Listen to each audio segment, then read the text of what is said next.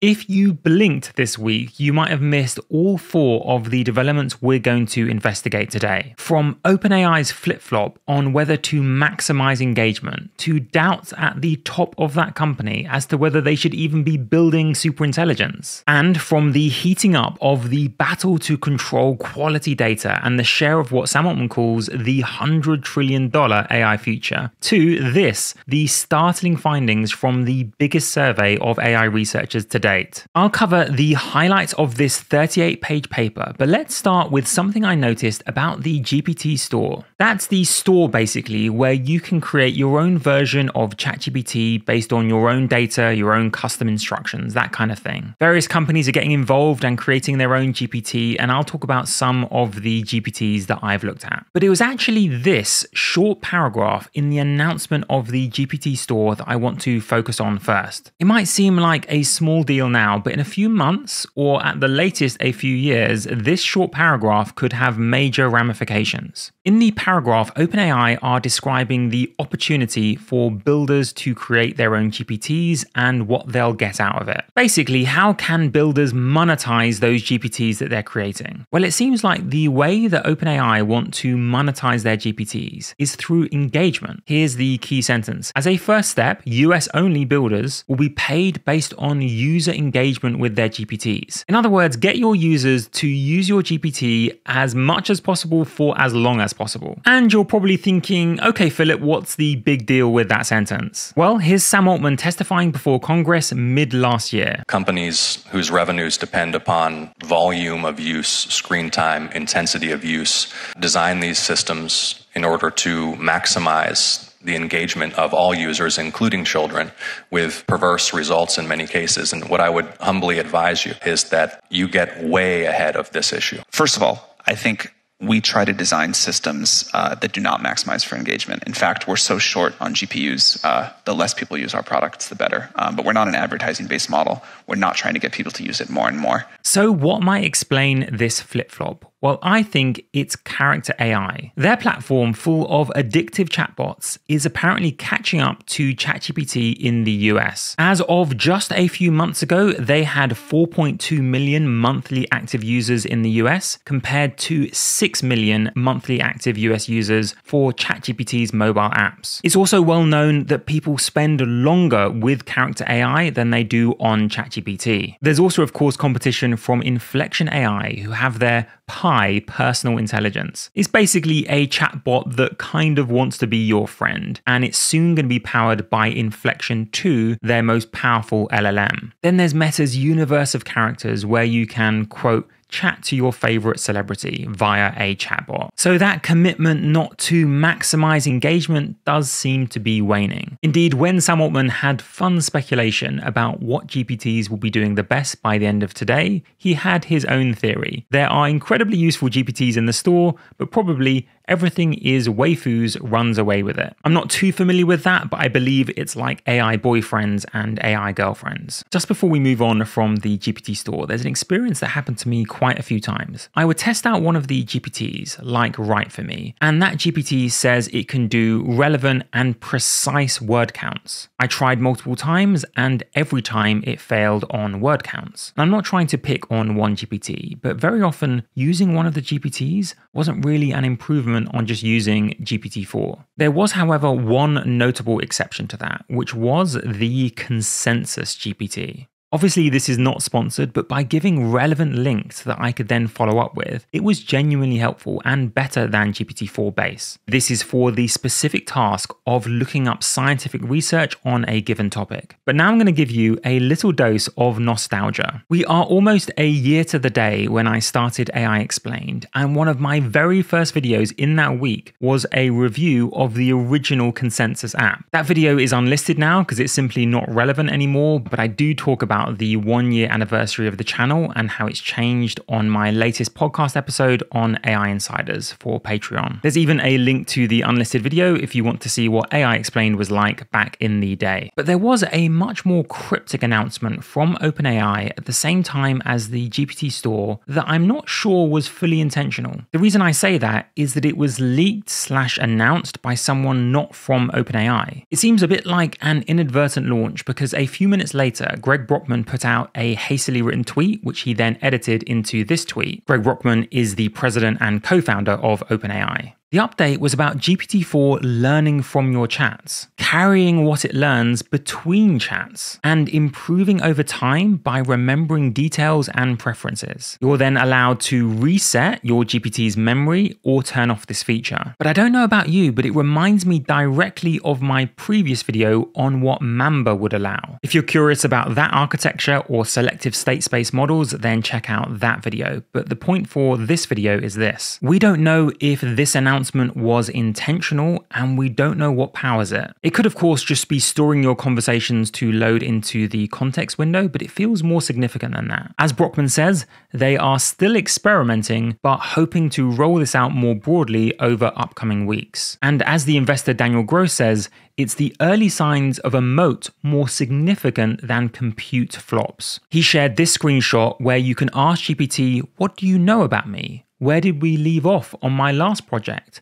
And remember that I like concise responses. So, why would that be a moat? Well, just like we saw with user engagement for GPTs, it makes models more addictive, more customized to you. Why go to a different AI model, a different LLM, if this one from ChatGPT knows who you are, knows what you like, knows what projects you like to work on, what code style you use, or more controversially, feels a bit more like your friend, remembers your birthday, that kind of thing? If you think that's far fetched, by the way, remember that photorealistic video avatars are coming as well soon. And of course, the natural endpoint of this is that these chatbots become as intelligent or more intelligent than you. After all, that's what OpenAI have said that they're working towards all along. They want to build super intelligence the super meaning beyond, beyond human intelligence. In this fairly recent interview with the Financial Times, Sam Altman said he splits his time between researching how to build super intelligence and ways to build up the computing power to do so. Also on his checklist is to figure out how to make it safe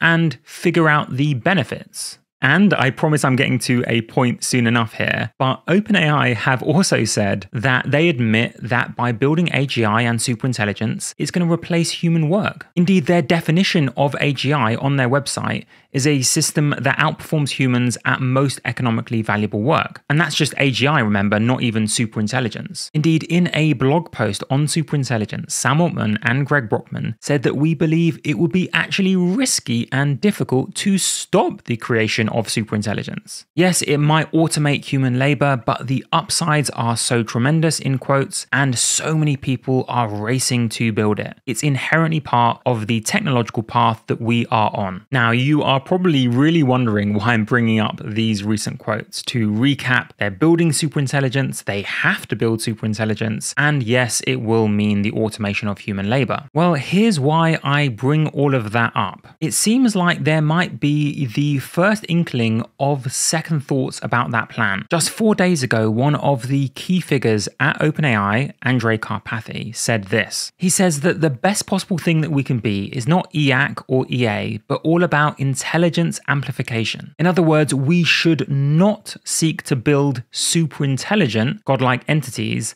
that replaces humans. So that's no superintelligence and not for the replacement of humans. It's about tools being the bicycle for the mind, things that empower all humans, not just a top percentile. And it's pretty hard to disagree with that. It seems like a wonderful vision to me too. But it was quite fascinating to see Sam Altman retweet or repost that tweet. The obvious questions are like, are you trying to build superintelligence or are you not? Are you trying to replace human labor or are you not trying to do so? You can't keep describing your latest advancements as tools but then admit that they are going to replace human labor and eventually be more intelligent than all of us. I mean, I do think almost everyone could get behind this vision from Andrej Karpathy. It just seems to contradict some of the other stuff that OpenAI have put out. Also, if I had a chance to ask Karpathy or Altman, I would say, how do you draw the line between a tool and something that replaces us? Making an AI model more intelligent indeed makes it a better tool,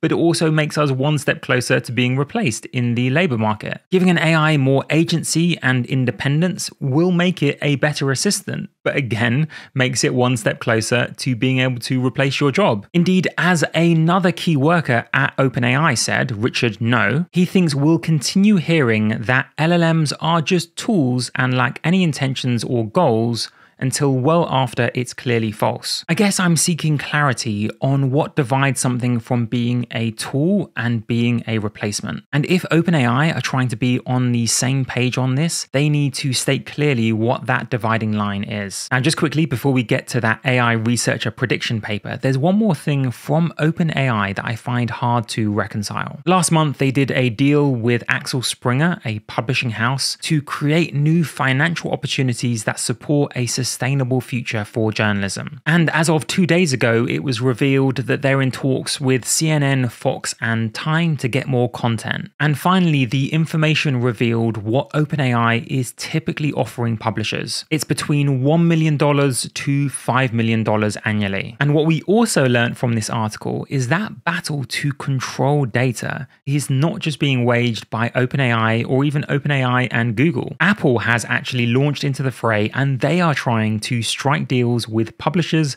for the use of their content. But the difference with Apple is that they want to be able to use content for future AI products in any way the company deems necessary. That could include, for example, imitating the style of a particular publisher or journal, or, for example, developing a model that acts as the world's newspaper. Remember, you can customize models now, so you can have your own Fox News, your own MSNBC. You could have, for example, your own personalized AI video avatar, giving you exactly and only the news that you want. What that does to society is a question for another day, but Apple are apparently offering up to 50 million for those kind of rights. So, what's so hard to reconcile then? Well, remember, this is all about creating new financial opportunities that support a sustainable future for journalism. But Sam Altman has already said that his grand idea is that OpenAI will capture much of the world's wealth through the creation of AGI and then redistribute this wealth. And he's talked about figures like $1 trillion and $100 trillion.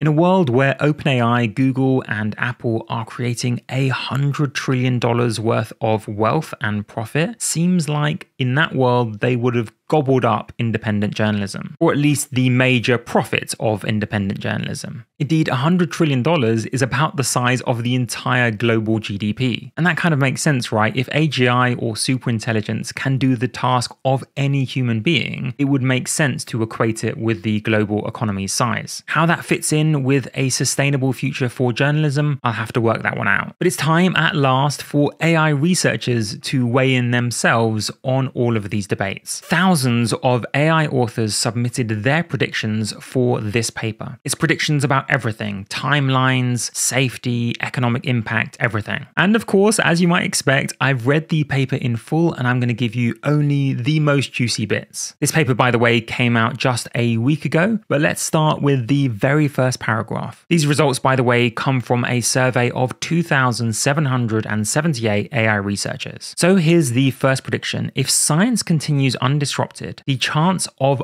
unaided machines outperforming humans in every possible task was estimated at 10% by 2027. And yes, at 50% by 2047. But let's focus on that 10% by 2027.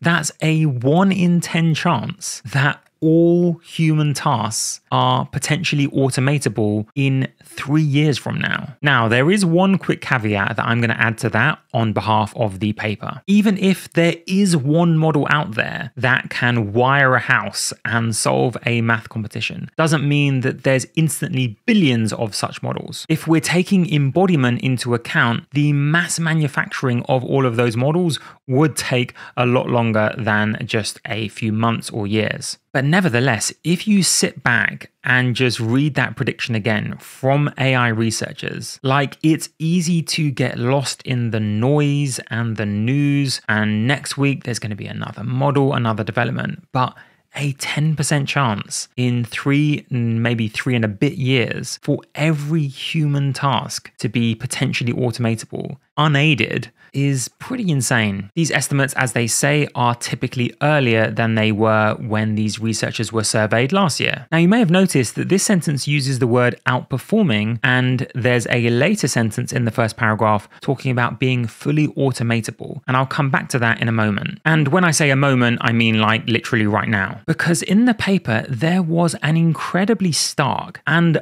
unjustified difference between the predictions for high level machine intelligence, that's all human tasks, and the full automation of labor, all human jobs, with the full automation of labor being predicted for the 2100s. And of course, on hearing that, many of you will be like, wait, What's high level machine intelligence then and all human tasks? Well, here is where they describe high level machine intelligence as defined for this survey. High level machine intelligence is achieved when unaided machines can accomplish every task, every task, better and more cheaply than human workers. So, not just better, but also more cheaply. Think feasibility, not adoption. The only caveat is that we're assuming here that human scientific activity continues without major negative disruption. But the date by which there is apparently a 50% chance of this happening is 2047, down 13 years from 2060. But how on earth would it take us from 2047 to the 2100s to go from a machine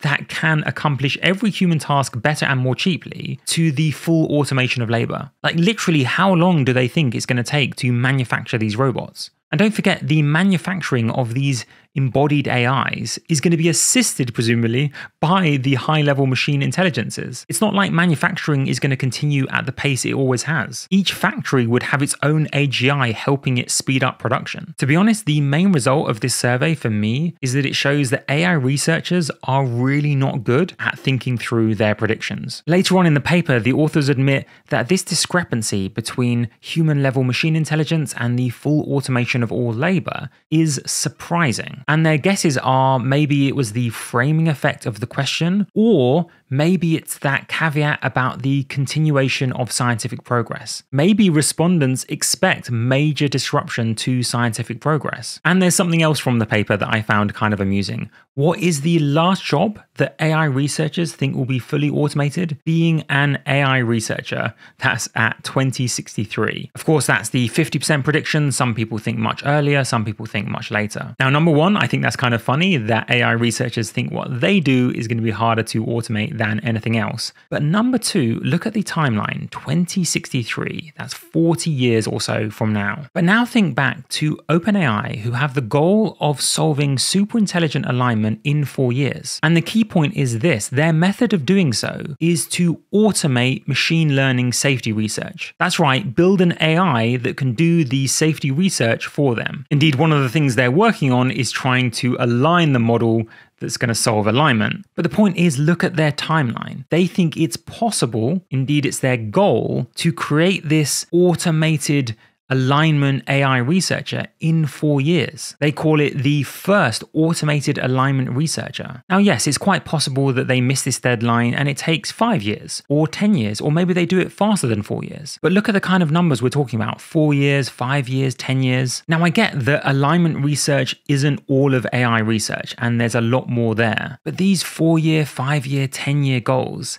seem a big stretch from a 40 year expectation of the automation of AI research. One of these two dates is going to be pretty dramatically wrong. Now, for a few more interesting little highlights before we close out. The paper found that subtle differences in the way that they ask certain questions radically change the results. Apparently, if you ask people in this kind of way, will we have superintelligence by 2050? You get much more conservative answers than if you ask, give me the year by which we'll have a 50% chance of superintelligence. In a related study, when people were asked about the chances of AI going wrong, when they were asked for a percentage, they said 5%. When they were asked for a fraction, it was 1 in 15 million. Now, of course, these weren't the same people, otherwise, they'd be pretty bad at mathematics. These were different test groups given different versions of questions. One tranche of the researchers might get one style of question, another tranche gets a different style. But I guess the take home here is that human psychology and anchoring is still playing an immense role when we talk about timelines and predictions. Here's another fascinating highlight. The researchers were asked about the possibility of an intelligence explosion. This is the question. Some people have argued the following If AI systems do nearly all research and development, improvements in AI will accelerate the pace of technological progress, including further progress in AI. Over a short period, less than five years, this feedback loop could cause technological progress to become more than an order of magnitude faster. That's a period of less than five years in which technological progress becomes 10 times or more faster. Now, before you see the results, let's reflect. That would be a crazy world. It's already hard to keep up with AI,